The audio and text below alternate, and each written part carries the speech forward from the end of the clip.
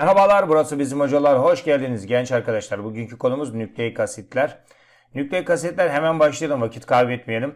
Bunlar bir organik madde. E, o zaman karbon, hidrojen ve oksijeni birlikte olacak. Yapısında genç arkadaşlar azotu şurada neye kalmış ve fosfor elementini de görebiliyoruz. Şimdi yapıtaşları olan nükle, e, nükleotitleri incelediğimizde bunları göreceğiz. Karbon, hidrojen, oksijeni, azotu ve fosfatının nasıl olduklarını göreceğiz genç arkadaşlar.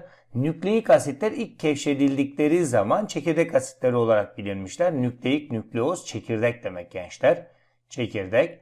İlk bulundukları zaman çekirdeğin içerisinde bulunan asit tabiatlı maddeler olarak bilinmişler, bulunmuşlar. Sonrasında tabi sadece çekirdekli olmadıkları işte sitoplazmada da var, organellerin içinde de var diye görülmüşler ama ilk önce isimleri böyle kalmış. Çekirdek asitleri olarak kalmışlar gençler. Tüm canlılarda bulunurlar. Eyvallah bulunmak zorundadırlar. Yönetici moleküldürler. Aynı zamanda protein sentezine dahil edilmişlerdir. Doğal olarak bütün canlıların içerisinde bunlar bulunurlar. Yönetici moleküllerdir. Bu madde bizim için çok kıymetlidir. Yönetici molekül olarak hem hücrenin içerisindeki olayları tamamen o organizasyon dediğimiz canlıların ortak özelliklerindeki organizasyon dediğimiz basamağı bu adamlar bu kendileri yapmak durumundadırlar. Taşıdıkları bilgilerle protein sentez diyorlar. Protein sentez dediğin zaman işin içerisine enzim girer.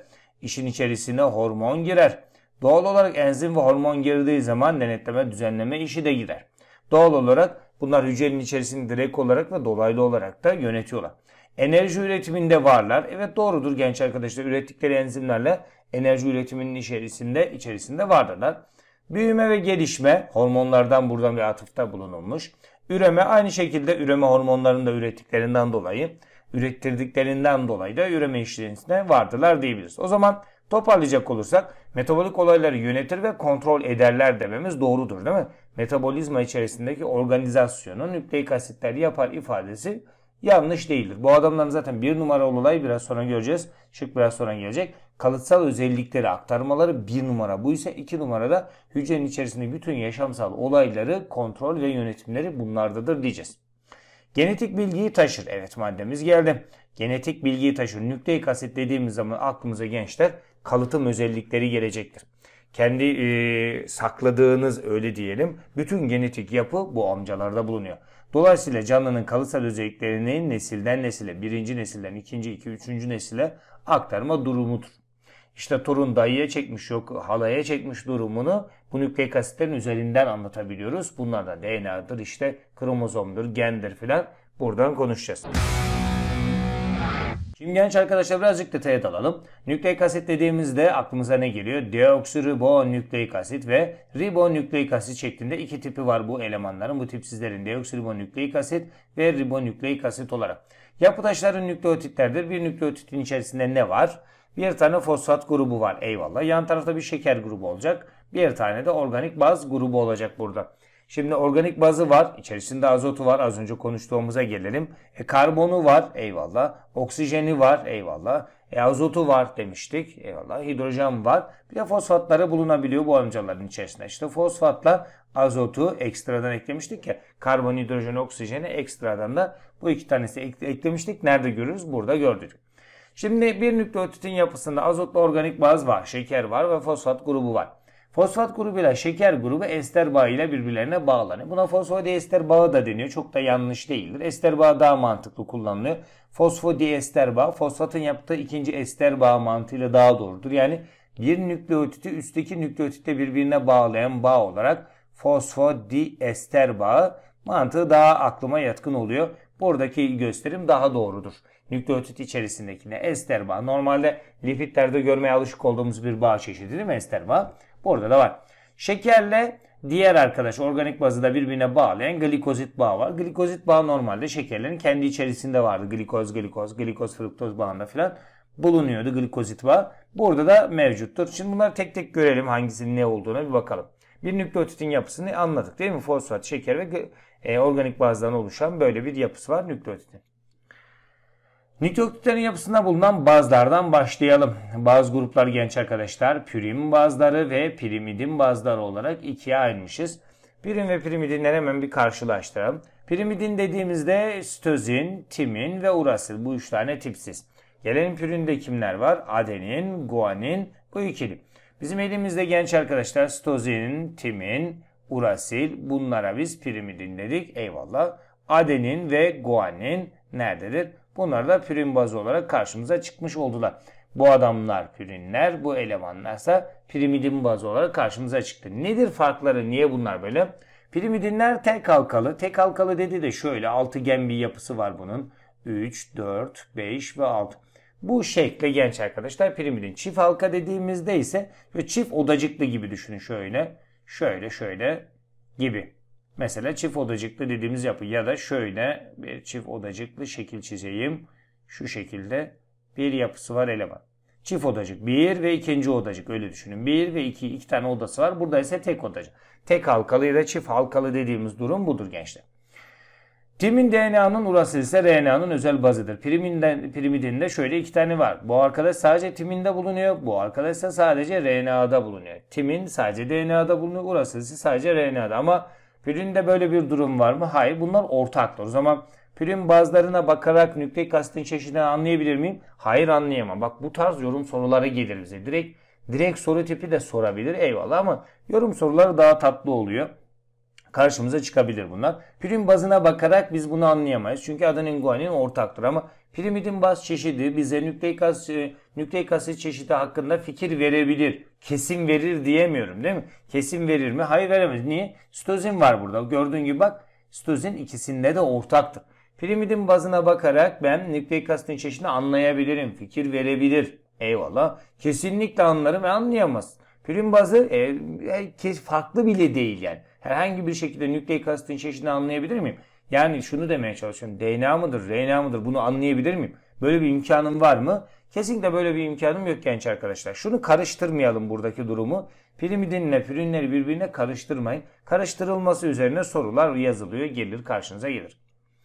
Gelelim şeker grubuna genç arkadaşlar. İki tip şekerimiz var. Deoksiriboz ve riboz. 5 karbonlu şekerimizdi. 5 karbonlu monosakkaritlerden hatırlayalım. 5 karbonlu 2 tane şeker var. Zaten DNA'ya ismini vermiş. Nükleik asitler genç arkadaşlar şekere göre adlandırılırlar. Deoksiribo bak. Deoksiribo nükleik asit. NA'sı aynı zaten. Ribo nükleik asit diyor bu. 5 karbonlu 2 tane şeker barındırıyor bunlar. Deoksiribonükleik asit, ribonükleik asit dediğimiz elemanlar budur. Deoksiriboz şekeri varsa DNA diyorsun, riboz şekeri varsa RNA. Bu kadar basit. Buradan soru nasıl gelecek bize? Nükleik asit şekerleri farklı oluyor. Farklı zaten ismini bile farklılaştırmış. Geldik fosfat grubuna genç arkadaşlar. Fosforik asitimiz mevcuttur. Gördüğünüz gibi şekilde de burada göründüğü üzerine böyle bir fosforik asitimiz vardır. Yapısıyla alakalı bize çok soru gelmez. Karşınıza çıkmaz bununla ilgili. Ne gelir bize? Tek çeşit olduğu sorulur. Tamam. Tek çeşit olduğu için o zaman her nükleotitte aynıdır. Okey aynıdır. Nükleik asitler de aynıdır. Aynıdır. Çeşidine göre fos, e, fosfat grubuna bakarak nükleik asiti anlayamam. Anlayamazsın. Ya da işte nükleotitin çeşidini anlayamam. Evet anlayamazsın. Fosfat grubu farklılık yaratmaz filan. Bu tarz cümleler kullanılacaktır. Hepsinde birbirinin aynısıdır diyeceğiz. Ortak olarak bulunur. Hikayesi üzerinden yürüyeceğiz. O zaman toparlayacak olursam genç arkadaşlar baza bakarak ben anlayabiliyor muydum farklılığı? Evet anlayabiliyordum. Şekere bakarak anlayabiliyor muydum? Evet tabii ki anlayabiliyordum.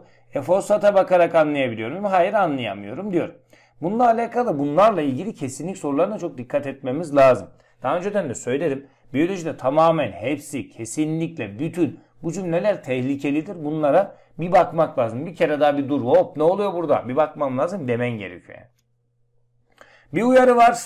Diyor ki bize nükleik asitin çeşidini baz ve şekere bakarak anlayabiliriz. Fosfat ise ortaktır demiş. Evet bazı ve şekerini bana ver. Yani adenin bazı var. Yanına da işte riboz şekeri var. Ben sana nükleik asitin ne olduğunu söyleyebilirim. Eyvallah. Ya da işte sadece bana e, bazı ver. Bazen öyle de olabiliyor değil mi? Verdim bazı, timin bazı verdim. Ha ne diyorsun bana? E bu bir DNA'dır. E tamam diyebiliyorsun. Her zaman böyle oluyor mu? Olmuyor. Mesela sitozini verdim. Söyle bakalım DNA mıdır, RNA mıdır? Bilemiyorsun. Neye ihtiyacın var? Şekere ihtiyacın var. Bunu da buradan anlayabiliyorsun. Ama fosfat bana hiçbir zaman bununla alakalı bir e, ipucu vermiyor. Fosfatım var. E var. Hepsinde var zaten ya. Şimdi gelelim genç arkadaşlar detaylı olarak DNA ve RNA'ya bakalım. Deoksiribonükleik asit yöneten moleküldür. Doğru mudur? Hücrenin içerisindeki bütün yaşamsal olayları yöneten arkadaşlar. Yönetici ve kalıtım. Yönetici kalıtım. Bu adam hem yönetiyor yaşadığı sürece hem de bir sonraki nesle kendi tecrübelerini aktarılıyor. Ne ile? Genlerle aktarıyor. Prokaryot hücrelerde sitoplazmada bulunacak. Bir prokaryot hücre çizecek olursam prokaryot hücrenin çekirdeği var mı? Yok. Sitoplazmanın içerisinde dağınık halde ne bulunuyor? DNA'sı bulunuyor. Ama geldik ökaryot bir hücreye. Ökaryot bir hücrede ne var? İçerisinde çekirdeği var. Çekirdeğin içerisinde bulunuyor mu? Evet. Organellerin içinde mitokondri de olabilir, plastitlerde değil mi? Kloroplast, kromoplast, lokoplast bunlar da bulunabiliyor arkadaşlar. Bunların içerisinde var. O zaman toparlayalım. Prokaryotlarda çekirdek olmadığı için sitoplazmaya dağınık halde bulunuyor. Ama ökaryotlarda ise çekirdeğin içerisinde bulunuyor. Bir de mitokondri ve içerisinde DNA bulunuyor diyoruz. DNA nükleotitleri guanin, adenin, sitozin, timin bazlarından oluşur. Az önce konuşmuştuk. İçerisinde DNA'da adenin var, guanin var, pürinler ortak zaten bunları koydum. E diğerinden timin koyabilirim pirimidinlerden. Urasil koyabiliyor muyum? Hayır o RNA aitti. O zaman bir tane de sitozin koyayım şuraya. Bir tane de sitozin. 4 tane nükleotit DNA'da bulunuyor. Zaten urasil bulunamadığını söylemiştik. Fosfat ve şeker grupları birbirlerine fosfodiester bağı ile bir bağlanmıştır. Konuşmuştuk az önce bu şekilde de gösteriyor. Şu bir nükleotit genç arkadaşlar şöyle düşünecek olsak. Aslında burada böyle değil bu hidrojen bağı. Orası gösterimi çok doğru değil. Şöyle yani doğru da şöyle düşünmek lazım. Yani şunun içerisinde nükleotitler var şöyle. Bu tarafta nükleotitler var. Bu aradaki bağlar hidrojen bağlar. Ben şunu göstermeye çalışacağım. Nükleotitler şöyle gençler diziliyor. Karşı tarafta da e, nükleotitleri var. Böyle. Diyelim burada adenin nükleotiti var. Karşısında ne olacak? Timin nükleotiti. Burada guanin nükleotiti var. Karşı tarafında sitozin olacak gibi. İşte adeninle guanini şöyle birbirine bağlayan şu bağın adı fosfodiester bağ. Adeninle timin birbirlerine ikili zayıf hidrojen, guaninle sitozin ise üçlü zayıf hidrojen. Bunlar ortadakiler zayıf hidrojen bağları gençler. Zayıf hidrojen bağları. Ama işte nükleotitleri yukarıdan aşağı iplik şeklinde bağlayan fosfodiester bağıydı diyorduk. Sarmal şekilde bağlanmıştır. Buna ip merdiven de diyebilirsin. Helozon da diyebilirsin. Watson-Crick modeli de diyebilirsin değil mi? Watson'la Crick modeli bunu bulan arkadaşlardır. Karşılıklı sarmallar hidrojen bağları ile birbirlerine bağlanır. Şu dediğimiz zayıf hidrojen bağlarıydı bunlar. DNA'nın en önemli özelliği kendini eşlemesidir. Replikasyon dediğimiz durumdur. İnterfaz e, evresinde, hazırlık evresini, S evresinde bunu kendisini gösteriyor. Replication kendi kendini eşleyebiliyor bu adam. DNA polimeraz burada çalışıyor. Evet. DNA'yı polimere bak. Polimere çoğaltıyor demeye çalışıyor. DNA'dan çok fazla yapıyor diyor bize. Adenin timinle guanin sitozin birbirlerine bağlanır. Burada da görüldüğü gibi bakın adeninle timini bağlamış. İki tane zayıf hidrojen bağı var. Sitozinle guanin bağlanmış. 1, 2, 3 tane zayıf hidrojen bağı bulunuyor. Bunun üzerine zayıf hidrojen bağı sayısı soruları gelir. Zayıf hidrojen bağ sorular. Çok bahsettim. Ne yapacaksın? Adenini 2 ile çarpacaksın. Artı guanini de 3 ile çarpacaksın. Guanini 3 bağ var. Adenine de 2 bağ var. E bunları da sonra toplayacaksın zayıf hidrojen bağını. Bana adenini guanin ya da tersini de yapabilirsin. Ben yazmadım da 2 timin e, yazayım bari artı 3 tane sitozin de yapabilirsin yani. Aynı hikaye aynı şekilde devam ediyor. DNA molekülünün adenin sayısı timin sayısına, guanin sayısı da sitozin sayısına eşittir. E karşılıklı oldukları için haliyle birbirlerine eşit olacaklardır. Böyle bir durum söz konusudur. Nükleotiti bir araya gelerek genleri, genler DNA'yı, DNA zincirleri de histon proteinine sarılarak kromatin iplikleri meydana getirir. Gençler şimdi şöyle bir DNA zincirimiz olduğunu düşünelim arkaya doğru şöyle insin. Şimdi burada geni filan gösterelim.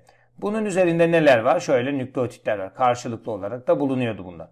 Bunların böyle bir bölümüne diyeyim ki şu kısma gen ismi veriliyor. Genler genç arkadaşlar ortalama 1500 tane nükleotitten meydana geliren yapılar.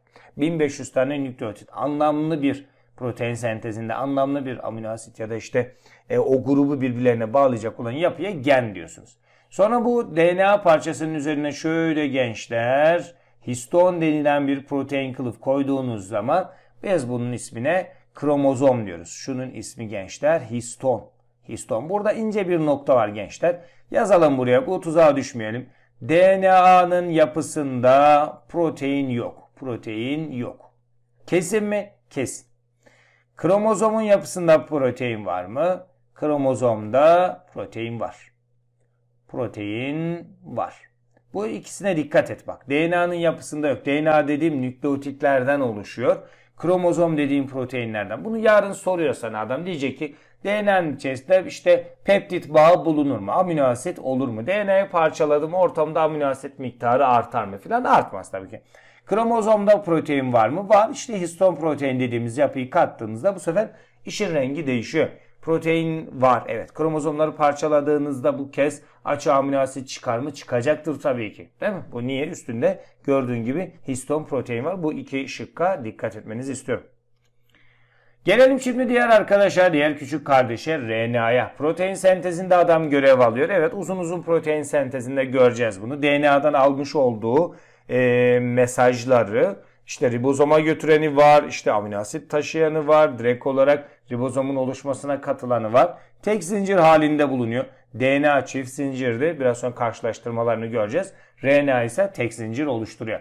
Bakteri ve arkelerde stoplazmada olacak adam. Bir de ribozomda olacak. Şimdi prokaryotların sahip olduğu tek bir organel vardı. O da ribozomdu. E, ribozomun içerisinde de RNA var mı? Evet rRNA dediğimiz yapı var. Bakterilerde, prokaryotlarda sitoplazmada olması şaşırtıcı değil çünkü çekirdeği yok. Gelelim ise ökaryotlarda canlılar ya da işte gelişmiş canlılar dediğimde çekirdeğinde var mı? Evet. Sitoplazmasında tamam. Ribozomlarında var mı? Evet. Mitokondri ve kloroplastlarında da var. Zaten mitokondri, kloroplast ve çekirdekte DNA da vardı. Ortaktı. Şimdi sitoplazma ve ribozomda da RNA bulunuyor. Ekstradan da katılmış oluyor. Yapısında adenini, guanini, sitozini, urasili var. E adenin, guanin zaten pürin bazıydı, ortaktı. E bir tane de urasili olmasın mı yani bulun, bulunsun. Diğerinde timin var. Bunda da urasil bulunsun. E sitozin de e, pirimidin baz olarak burada bulunuyordu gençler. Timin nükleotitleri RNA'da bulunmaz. Okey. RNA molekülü tek ipliktir. Evet genç arkadaşlar tek iplik olduğu için işte adenin kadar şu var. Guanin kadar sitozin böyle bir ortaklıklar yok tamam mı? Adenin kadar işte urasil ya da guanin kadar sitozin böyle ortaklıklar burada yok. Niye? Tek iplik karşılığı yok. Bak görüyor musun? Tek zincir yani adenin bulunuyorsa burada altına guanin, sitozin filan diye tek tek gidiyor. Karşılığı olmadığından dolayı doğal böyle bir durum yok. DNA gibi kendini eşleme özelliği yoktur. DNA'dan sentezlenir adam. Şöyle düşünün. Şöyle bir DNA'mız olsun. Buradan RNA üretiliyor. Haliyle kendi kendini eşleme gibi bir durum yok. O sadece DNA has bir durumdur. RNA polimeraz tarafından üretiliyor DNA'daki aldığı bilgilere göre. Diğeri neydi? DNA polimeraz. Bu ne? RNA polimeraz. Üç çeşidi var. Hemen başlayalım. mRNA, mesajcı RNA. DNA'dan aldığı şifreleri protein sentezini yapıldığı ribozoma taşıyor adam. Eyvallah. Buradaki özellik protein sentezinde konuşacağız. mRNA mesajcı alıyor şu bir DNA. DNA'daki bilgileri mRNA alacak. Bu adam koştura koştura koştura nereye gidiyor? Şurada bir ribozom olsun. Ribozoma taşıyor adam. Bilgileri diyor ki DNA dedi ki şu kadar şu proteini üreteceksin dedi diyor. Ribozoma geliyor. Ribozomda da okunuyor burası ve protein sentezlenmiş oluyor. Şu şık önemli bizim için. Mesajcı RNA RNA çeşitleri içerisinde en az oranda bulunanındır. Neden? Çünkü genç arkadaşlar tekrar tekrar kullanılabiliyor. Tekrar tekrar kullanılır. Kullanılır. Tek bu mu? Bu yetiyor mu? Hayır. Bir de genç arkadaşlar burnun bir tanesi protein çeşitlemesi için yeterli oluyor. Bir tane mRNA bir protein çeşidi için yeterlidir bizim için. Bir sonraki çeşit için başka bir mRNA lazım. Bak çeşit altını çiziyorum tamam mı? Çeşit, miktar, oran bu laflara dikkat edeceksin. Öyle sorular okurken löpür löpür okursan yanılırsın. Çeşit mi dedi, oran mı dedi, miktar mı dedi. Öyle kafana göre değil. Bak çok net bir şey söyleyeyim size. Soruyu yazan soruyu yazdığından sorumludur. Senin anladığından değil. Ben böyle anladım. Öyle anladıysan bir sene daha anlarsın yani. Tamam Soruyu ne dediğini çok net anlayacaksın. Ben böyle anladım durumu yok. Sana göre değil o işler. Tamam? Doğru. Genelleme üzerinden bir durum var. Biraz fırça atar gibi oldum ama bunlara kızıyorum yani. Bildiğim bilgiyle alakalı ciddiyetsizlikten dolayı soruyu kaçırdığın zaman o zaman canımız yanıyor. Bilmediğinde sorun yok. Emek vermemişsin ama biliyorsun ya. O soruyu biliyorsun. Düzgün okumamışsın, ciddi davranmamışsın. O soru kaçmış orada. Can yanıyor yani orada. O kadar emek var, o kadar saat uğraşılmış yani. O kadar soru çözmüşsün onunla alakalı. Gelelim ikiye. Ribozomal RNA isminden belli. rRNA ribozomu oluşturuyor değil mi? Ribozomun yapısına katılıyor arkadaş. Çekirdekçikte sentezleniyor eyvallah. En fazla oranda bulunan budur. Niye? Çünkü hücrenin içerisinde çok fazla ribozom organeli var. Bundan dolayı genç arkadaşlar ribozomal RNA miktarı da çok çok fazladır. mRNA en az, e, rRNA'da en çok bulunuyorsa o zaman ne olacak? tRNA dediğimiz ikisinin ortasında olacak. Yani şöyle rRNA'yı bir numaraya, mRNA'yı son numaraya koyacak olsak tRNA da öyle. Şöyle 1, 2, 3 diye sayacak olursak mRNA burada rRNA. Şöyle RNA'sını da yazalım da şöyle ne yaptığımız anlaşılsın. Karalama gibi olmasın. Evet taşıyıcı RNA taşıyıcı adından belli ne taşıyorsun? Amino asit taşıyorsun. Evet amino asiti ribozoma doğru sitoplazmanın içerisindeki amino asitleri getirip ribozoma koyuyor ve ribozomlar bir içerisinde amino asitler peptit bağlarıyla birbirlerine bağlanıyorlar ve nur topu gibi bir proteinimiz elde edilmiş oluyor. Bu bilgiyi burada şu anda bırakabiliriz. Sonra bunu uzun uzadıya göreceğimiz konularımıza. Mesajcı RNA evet DNA'dan sentezlenir. Bu arada bütün RNA'lar DNA'dan sentezlenir genç arkadaşım. Bütün RNA'lar DNA'dan sentez alıyorlar. Direkt oradan üretiliyorlar. Kafalarına göre herhangi bir yerde değil. Ribozomal RNA ribozom oluşturuyor. Taşıyıcı adı üstünde taşıyor. Zaten direkt yaptıkları işlere göre isim verilmiş bunlara. Transfer RNA deniyor gençler. Şimdi DNA ile RNA'yı bir karşılaştıralım bakalım ne oluyor burada.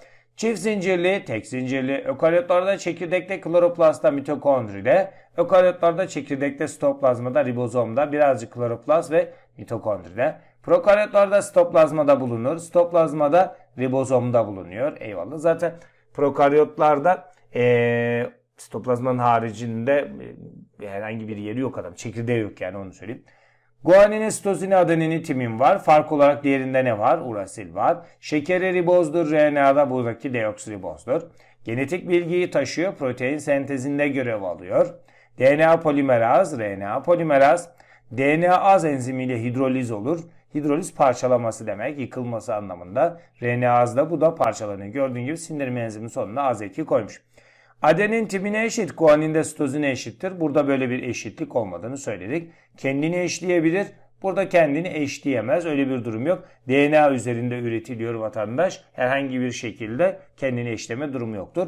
Yönetici moleküldür. Bu yönetici molekül değildir. Aracı moleküldür diyebiliriz. DNA kadar büyük bir molekül değildir. Daha ufaktır. Hücreden hücreye miktarı değişiklik gösterebilir. Evet protein sentezi yüksek olan hücrelerde RNA miktarı daha fazladır diyor.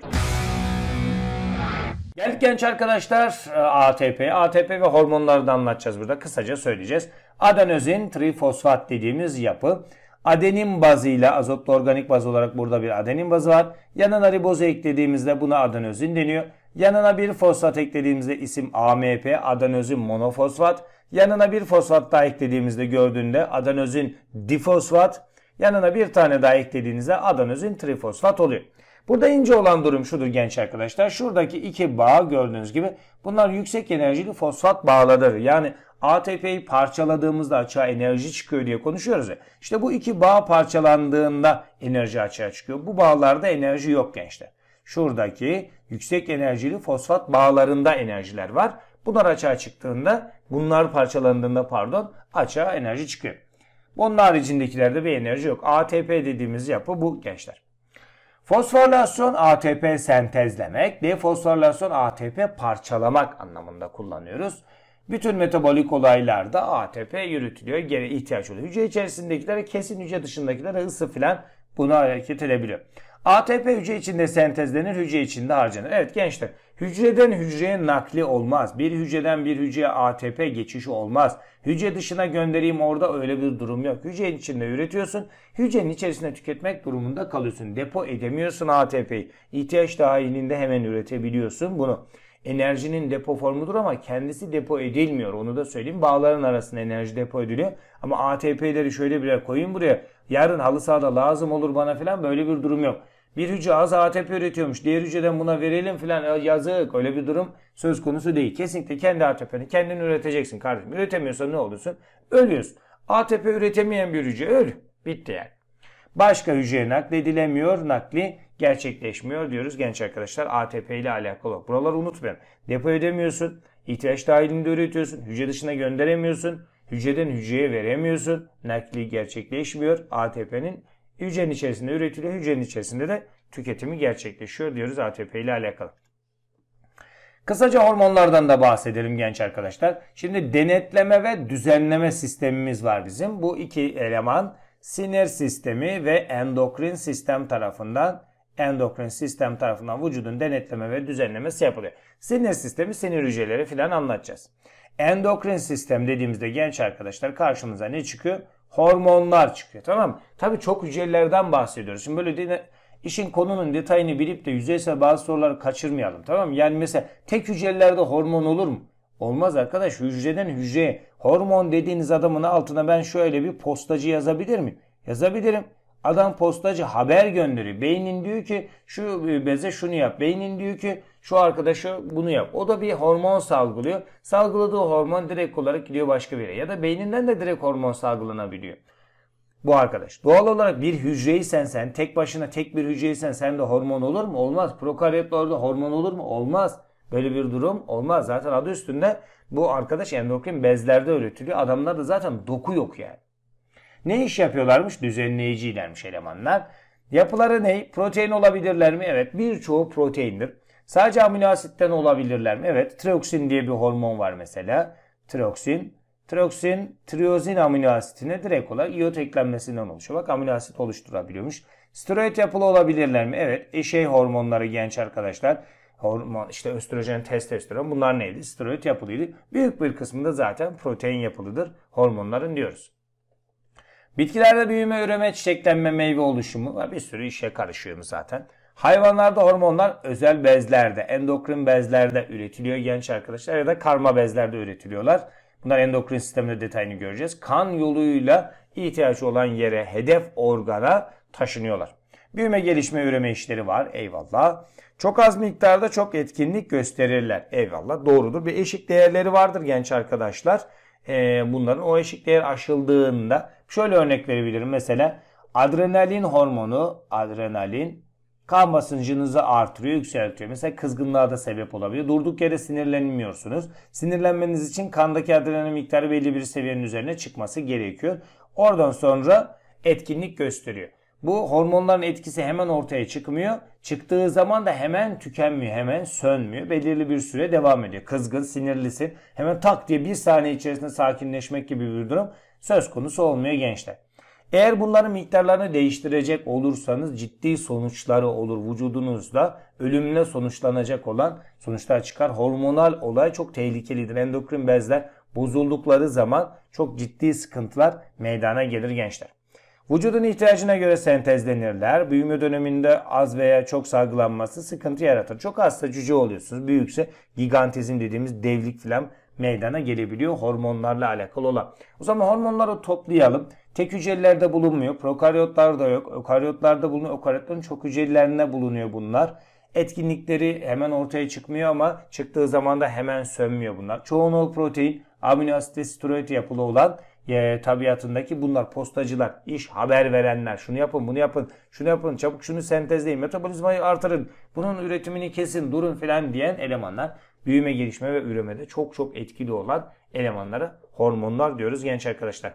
Evet gençler bugün biraz e, nükleik asitler, ATP ve hormonlar olduğu için bir de bir tık uzun sürdü. Burada da bitirdik. Dediğim, e, söylediğim yerler tecrübeyle sabit. Buralara dikkat edelim böyle. Kelime e, sıkıntılarına düşmeyelim. Bugünden alacağımız ders budur. Böyle miktarı, oranı, işte çeşidi falan bu işlere çok dikkat etmemiz lazım diye düşünüyorum. Kendinize çok çok dikkat edin. Hadi bana da eyvallah artık.